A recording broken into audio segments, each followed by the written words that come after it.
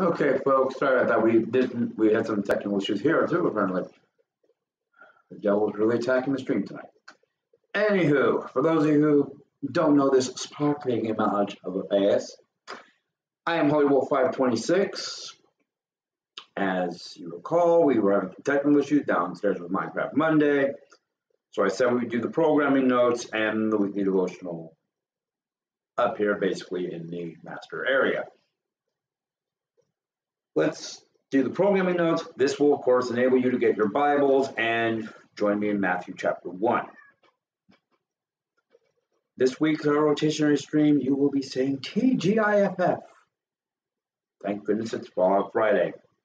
Jimbo and I will once again be traversing the wasteland. Who knows what great evils we will battle together.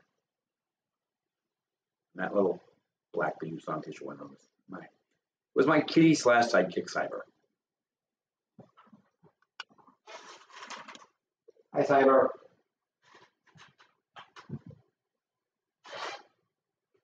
So anyway, back to the business at hand. Um, that's my kitty. So, second issue at hand. Second programming note is, as I've been having since start of December, Tuesday, December 24th, we're going to try for about 9 p.m. I've got some other Christmas Eve things I need to do, so you don't, you never know. I might be a little late, might be really late. Will be the first ever, hopefully annual, Holy Wolf Christmas. I encourage you to make some hot cocoa, sit around the tree, or put the tree up if you haven't put the tree up. I have my trees downstairs. And tune as I sing some of your favorite Christmas songs on Twitch Sings. It should be an enjoyable, lovely evening. Enjoyed and loved by all. Well, most. on that note, this weekly devotional, once again, we have been discussing Janet's Christmas story. Jan is a young lady at church that I was attending for a while. One year, she put on a play using the kids and some of the younger teens. And we've been discussing some of the points in her story. You all have Matthew 1. I will attempt to tell you what, why don't I why don't I jump over to BibleGateway.com and we will read together. Sounds like a plan to me. Let's do it.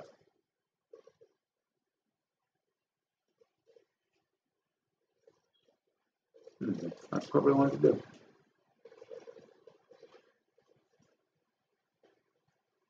Tell you what, I'm going to hit the be right back button here and we'll try to connect over there.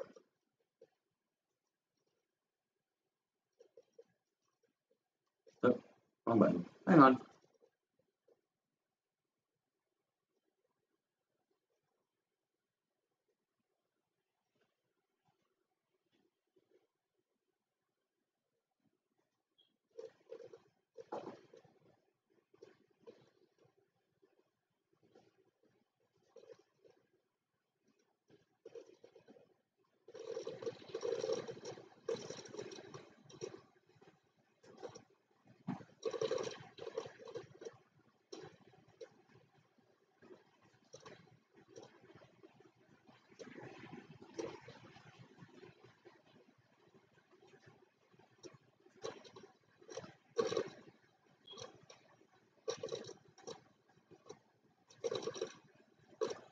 Uh, you guys still with me?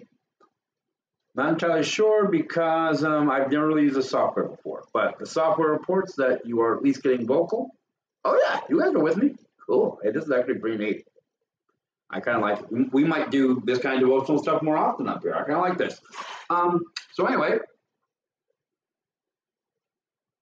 we are reading Matthew 1 and 2 tonight.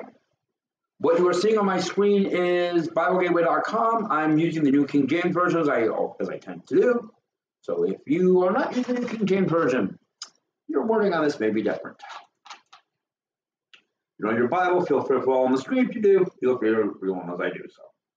And I know there's as you can see, there's some big names here. I'm probably going to mix up, mix up your them up. So bear with me. Matthew 1. The book of the genealogy of Jesus Christ, the son of David, the son of Abraham. Abraham begot Isaac. Isaac begot Jacob, and Jacob begot Judah and his brothers.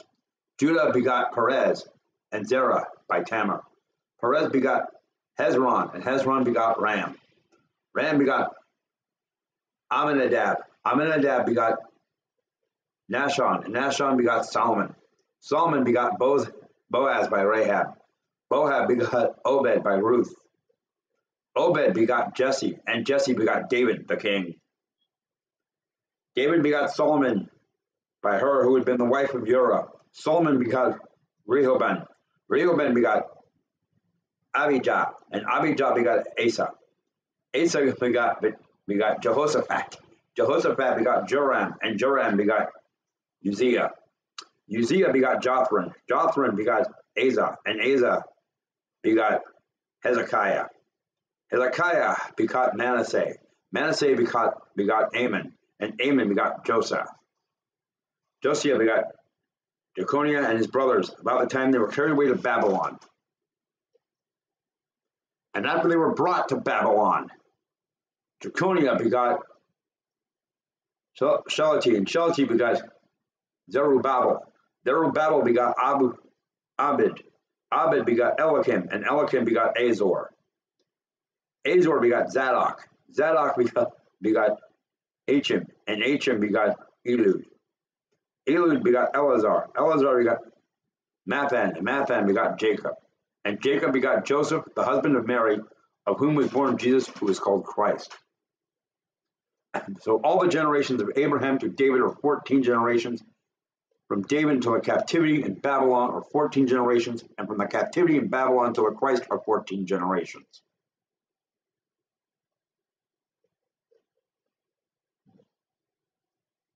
Guys, I'm going to take a quick reading breather here. I am really liking this because, I mean, look at this. It's actually scrolling along with, uh, with me. That's pretty cool. I like that. Anyway, we're now in the section Christ born of Mary. Now the birth of Jesus Christ was as followed. After his mother Mary was betrothed to Joseph, before they, before they came together, she was found with child of the Holy Spirit. Then Joseph, her husband, being a just man, not wanting to make a public example, was minded to put her away secretly.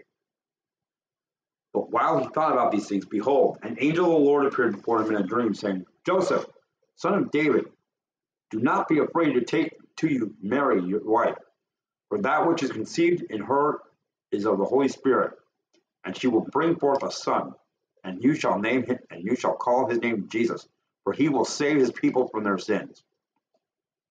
So all this was done that it might be fulfilled, which was spoken by the Lord to the prophet, saying, Behold, the virgin shall be with child and bear a son, and they shall call him Emmanuel, which is translated God with us. And Joseph, being aroused from his sleep, did as the angel of the Lord commanded him, and took him his wife, and did not know her till she had brought forth her firstborn son, and he called his name Jesus. As for our reading, we're going to jump to chapter 2 as well wise men from the east. Now, after Jesus was born in Bethlehem of Judea in the days of Herod, the king, the king, behold, wise men from the east came to Jerusalem, saying, Where is he who has been born king of the Jews? For we have seen a star in the east and have come to worship him. When Herod the king heard this, he was troubled, and all Jerusalem with him. Herod, folks, was not a very good king If he was in a great mood. People loved him, and people, you know, he was people loved him and were amazed at how wonderfully and justly he could rule. But when he was in a mood like this, eh, people tend to die a lot.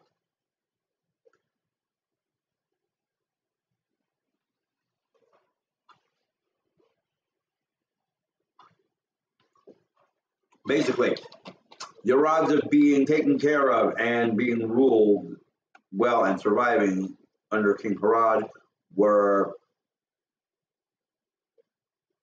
pretty much based on Herod's mood. It was commonly thought in a sense that it was better to be a pig than to be ruled by Herod, by Herod. But let's continue with our reading. So they said to him, In Bethlehem of Judea. Oh, I'm sorry, we skipped verse 4. We'll go back to verse 4 then. And when he had gathered all the chief priests and scribes of the people together, he inquired to them where the Christ was to be born. So they said to him, In Bethlehem of Judea, for thus is written by the prophet. But in Bethlehem, in the land of Judea, are not the least among the rulers of Judah. For out of you shall come a ruler who will shepherd my people Israel. Then Herod, when he had secretly called the wise men, determined from them what time the star had appeared. And he sent them to Bethlehem and said, Go and search carefully for the young child, and when you have found him, bring him, bring back word to me, that I may come and worship him also. When they heard that king, they departed, and behold, the star which they had seen in the east went before them, till it came and stood over where the young child was. When they saw the star, they rejoiced with exceedingly great joy. And when they came into the house, they saw the young child with Mary, his mother, and fell down and worshipped him. And when they had opened their treasures, they presented gifts to him gold, frankincense, and myrrh. Then, being divinely warned in a dream that they should not return to Herod, they departed for their own country another way. We follow this up with a flight into Egypt. Now, when they had now when they had departed, behold, an angel of the Lord appeared to Joseph in a dream, saying, Arise, take the young child and his mother, and flee to Egypt, and stay there until I bring you word, for Herod will seek your young child to destroy him. Remember what I mentioned earlier, folks? Yeah, when he arose, he took the young child by night and departed for Egypt, and went and was there until the death of Herod, that it might be fulfilled which was spoken by the Lord to the prophet, saying, Out of Egypt I called my son. Massacre of the innocent. Next section, next topical section is the massacre of the innocents. Then Herod, when he saw he was deceived by the wise men, was exceedingly angry, and he sent forth and put to death all the male children who were in Bethlehem and its districts, from two years old and under, according to the time which he had determined from the wise men. Then was fulfilled what spoken by Jeremiah the prophet, saying, A voice was heard in Ramah, lamentation, weeping, and great mourning. Rachel weeping for her children, refusing to be comforted, because they are no more. The home in Nazareth. Now, when Herod was dead, behold, an angel of the Lord appeared in a dream to Joseph in Egypt, saying, Arise, take the young child and his mother, and go to the land of Israel. For those who sought the young child's life were dead. Then he arose, took the young child and his mother, and came into the land of Israel. But when he heard that Arch- Archelaus was reigning over Judea instead of his brother Herod, he was afraid to go there. And being warned by God in a dream, he turned aside into the region of Galilee. And he came and dwelt in a city called Nazareth that it might be fulfilled by which was that might be fulfilled which was spoken by the prophets, he shall be called a Nazarene.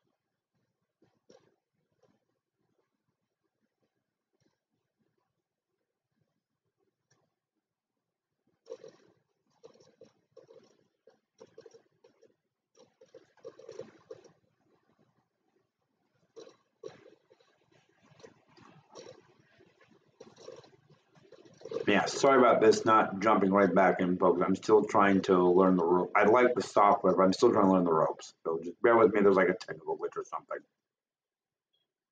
Because I kind of really don't know what I'm doing yet. Oh, change capture. Great.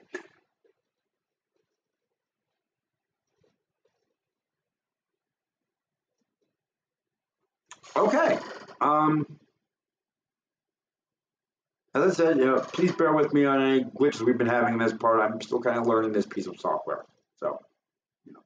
Now with that, now I'll already have to do with tonight's point because tonight's point is they made an impact by doing basically by doing the above things by doing the above the by doing the above things in which we mentioned tonight, the wise men, little they truly know, would make an impact to millions.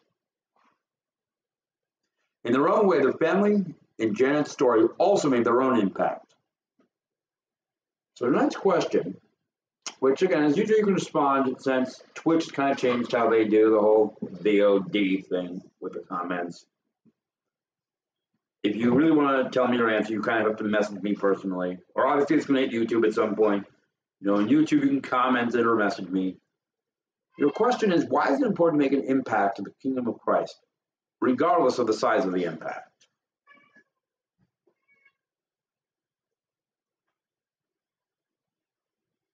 So, that's your devotional this week. Courtesy of, uh, I'm not going to say the only commissioned pastor on Twitch because I really don't know if I am.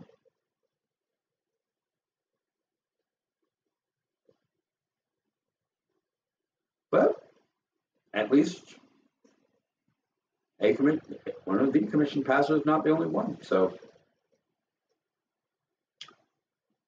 see you guys Friday for Fallout Friday. I'm out of here.